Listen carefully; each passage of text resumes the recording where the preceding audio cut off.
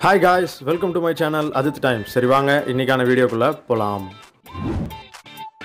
Tooth brush காலைல எழுந்த உடனே அல்லாடி தள்ளாடி போயிட்டு ஒரு எக்யூப்மெண்ட் எடுத்து பல்லு வளர்க்கும் இல்லையா? அது பேர் தான் டூத் ப்ரஷ் ஏன்டா இது எங்களுக்கு தெரியாதா? இது நீ எங்களுக்கு சொல்லி தான் தெரியணுமா? அப்படின்னு நீங்கள் என்னை கேட்கலாம். ஸோ அது அப்படி கிடையாது. சரி இந்த டூத் ப்ரஷ் எங்கேருந்து வந்துச்சு? நம்ம எல்லாருக்குமே நல்லா தெரியும். நம்ம பாட்டி தாத்தாலாம் சொல்லுவாங்க இல்லையா இந்த ஆளை வேற குச்சி எடுத்து பல் விளக்குங்க. பல் உறுதியாகவும் ரொம்ப ஸ்ட்ராங்காகவும் இருக்கும் அப்படின்னு. ரெண்டு ஒன்று தான் சரி ஆனால் இந்த குச்சி எடுத்து பல்லு வளர்க்குற பழக்கம் நம்மளுக்கு எங்கேருந்து வந்துச்சு நம்மளுக்கு தெரியுமா?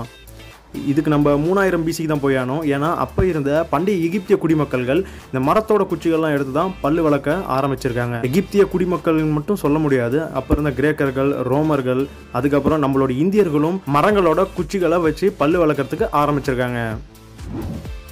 டூத் ப்ரஷ்ஷை முதல் முதல்ல எங்கே கண்டுபிடிச்சாங்கன்னா சைனாவில் தான் இது எப்போனா டாங் அப்படின்ற ஒரு ராஜவம்சம் ஆட்சியில் இருக்கும்போது. இது எந்த இயர்னு பார்த்தா அறுநூற்றி பத்தொம்போதுலேருந்து தொள்ளாயிரத்தி ஏழுக்குள்ளன்னு சொல்லி சொல்கிறாங்க சரி இதெல்லாம் ஒரு பக்கம் இருந்தாலும் யூரோப்பில் செவன்டீன் சென்ச்சுரிக்கு அப்புறம் தான் டூத் ப்ரஷ்ஷை யூஸ் பண்ணவே ஆரம்பிச்சாங்களாம். அது எப்படின்னா யூரோப்பில் இருக்கிற ட்ராவலர்ஸ் சைனாக்கு போயிருந்தபோது அங்கேருந்து டூத் ப்ரஷ்ஷை யூரோப்புக்கு கொண்டு வந்திருக்காங்க.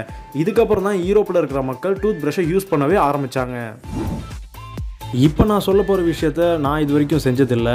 அது அவ்வளோ பெரிய மிகப்பெரிய விஷயமும் கிடையாது. நம்ம எல்லாருக்கும் தெரிஞ்ச விஷயம் தான் அது என்னென்னா டூத் ப்ரஷ்ஷை ஷேர் பண்ணுறது இந்த டூத் ப்ரஷ்ஷை ஷேர் பண்ணுறதுலேயும் அவங்க ஒரு பர்சன்டேஜ் லிஸ்ட் போட்டு வச்சுருக்காங்க. அது என்னென்னா டூத் ப்ரஷ்ஷை அவங்க பார்ட்னர்ஸோட இருபத்தி நாலு சதவீதம் பேர் ஷேர் பண்ணுறாங்களாம் அதே மாதிரி பதினெட்டு சதவீதம் பேர் தங்களோட குழந்தைங்களோட ஷேர் பண்ணுறாங்கன்னு ஏழு சதவீதம் பேர் தங்களோட ஃப்ரெண்ட்ஸோட ஷேர் பண்ணுறாங்கன்னு சொல்கிறாங்க யுனைடெட் ஸ்டேட்டில் வேர்ல்டு வார் டூக்கு முன்னாடி ஒரு விஷயம் நடந்திருக்கு. அது என்னன்னா யுனைடெட் ஸ்டேட்டில் இருக்கிற பெரும்பாலான மக்கள் பல்லு விளக்குறதுன்றத தினசரி பழக்கமாகவே கொண்டிருக்க மாட்டாங்களாம். இது வேர்ல்டு வார் டூ முன்னாடி வரைக்கும். வேர்ல்டு வார் டூ அப்போ யூஎஸ் ஆர்மி அவங்க சோல்ஜர்ஸ் கிட்ட என்ன சொன்னாங்கன்னா தினமும் நீங்கள் பல்லு விளக்கணும் அப்படின்னு சொல்லி சொல்லியிருக்காங்க.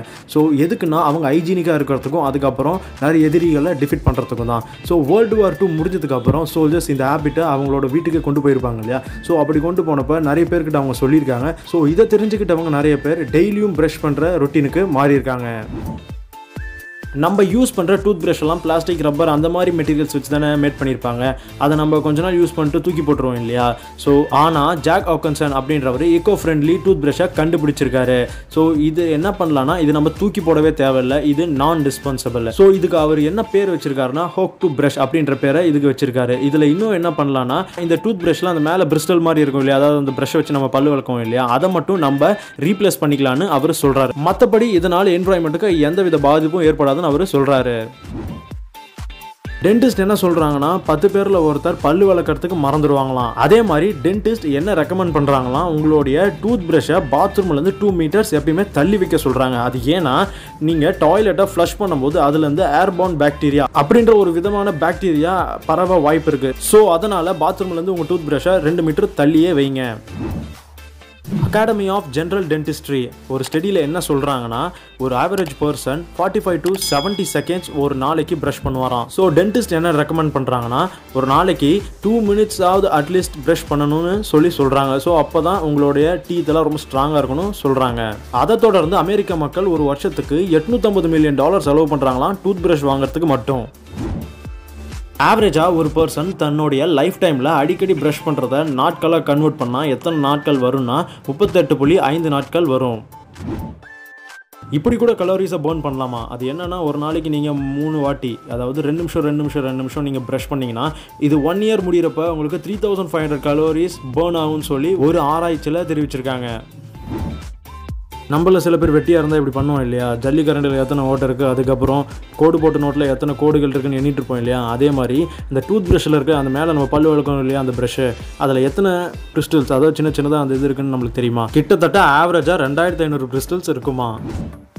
எதை உருவாக்குனாலும் எக்ஸ்பென்சிவாக ஏதாவது உருவாக்குவாங்க இல்லையா? நம்ம போனதாட்டி டை பார்த்தோமே எக்ஸ்பென்சிவான டை அந்த மாதிரி தான் அதே மாதிரி டூத் ப்ரஷும் எக்ஸ்பென்சிவாக ஒன்று உருவாக்கிருக்காங்க. உலகத்திலே ரொம்ப எக்ஸ்பென்சிவான டூத் ப்ரஷ் எவ்வளோனா ஒரு நாலாயிரம் டாலர். இது எதால் உருவாக்கியிருக்காங்கன்னா டைட்டானியம் அலாய வச்சு உருவாக்கியிருக்காங்க இதுக்கும் இது எலக்ட்ரிக் கூட கிடையாது. ஓகே காய்ஸ் இன்றைக்கான வீடியோ உங்களுக்கு பிடிச்சிருக்கும்னு நான் நம்புகிறேன் இந்த வீடியோ உங்களுக்கு பிடிச்சிருந்தா லைக் பண்ணுங்கள் ஷேர் பண்ணுங்கள் அப்புறம் இதே மாதிரி வீடியோஸ் உங்களுக்கு அடிக்கடி வேணும்னா என்னோட சேனலை சப்ஸ்கிரைப் பண்ணுங்கள் அண்ட் தேங்க்யூ ஃபார் வாட்சிங்